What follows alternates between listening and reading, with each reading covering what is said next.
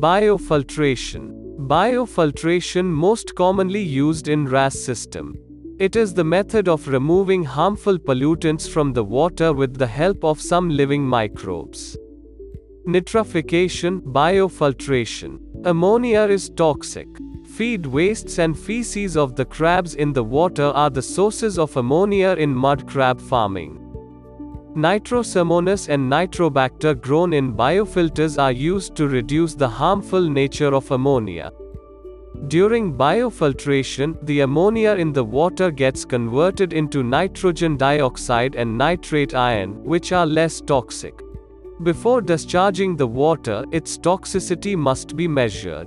We must maintain it between 0 to 0.25 ppm. The goal of nitrification is to convert ammonia NH3 into nitrogen dioxide NO2 and NO2 into nitrate ion NO3. Implanting biofilter. To implant a successful biofilter, analyze the weight of the crab and its rate of mortality in your system. Biofilters are of high capital cost and it is expensive to maintain. These are tanks with enough surface area where the nitrifying bacteria are grown. It is necessary to provide adequate food and appropriate living condition for the bacteria to grow in the filter. It is also important to protect these bacteria from other harmful bacteria attacks. To enhance the filtration process, provide proper aeration id est availability of oxygen. Calculating ammonia production TAN. Based on the type of feed that you are using in your system, the amount of ammonia and nitrogen production varies. Total ammonia nitrogen production TAN in the system is calculated based on two factors. 1. Feeding rate per day. 2. Protein content in the feed. The feeds that contain the protein are the source of ammonia and nitrogen. Trash fishes contain only 40 to 60% of protein whereas other feeds contain over 60 to 75% of protein. You can calculate TAN production in your system by multiplying the following values. TAN production kilogram equals feeding rate by protein content by wastage by nitrogen protein by TAN 1 gram n approximately in our system we are getting 0.16 grams of nitrogen per gram of protein and the TAN per unit of nitrogen is 1.2 grams. Based on these values, here we show you how to calculate TAN if you are using 10 kg of feed per day that contains 40% of protein then, TAN production kilogram equals 10 kg feed per day by 0.4 by 0.5 by 0.16 by 1.2 equals 0.384 kg per day.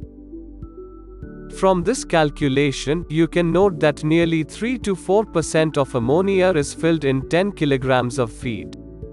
If you use the same amount of feed but with 50% of protein content, then the TAN production varies as TAN production kilogram equals 10 kilograms feed per day by 0.5 by 0.5 by 0.16 by 1.2 equals 0.480 kilograms per day. This type of feed contains nearly 5% of ammonia. The above calculations show that the amount of ammonia also increases when the protein content in the feed increases. The efficiency of biofiltration is based on the type of feed and the amount of ammonia in them. To control high ammonia production in water, stop feeding until the water quality gets back to its original value. Necessity of TAN for setting up a biofilter, it is necessary to calculate TAN to find biological surface area needed to set up biofilter, feeding rate per day, protein content and type of feed. Based on the need of the user, the TAN value differs whether they are growing the crabs or fattening the crabs. If they are fattening the crabs, then they have to feed up to 10% of crab's body weight id est 100 grams of feed for 1 kilogram of crab. Using this feeding rate and protein content in the feed, you can easily calculate the TAN value. Nitrification and salinity. The rate of nitrification changes based on the salinity of the water. It differs from fresh water to salt water.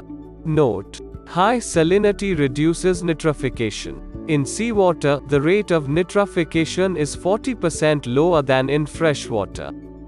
Here, we have given you the VNR of both freshwater and seawater. Volumetric nitrification rate VNR of freshwater equals 1.1 C tan 0.7 by specific surface area SSA. Volumetric nitrification rate VNR of seawater equals 0.5 C tan 0.7 by specific surface area SSA. It is much important to implant the biofiltration process in saltwater condition as it has low nitrification rate.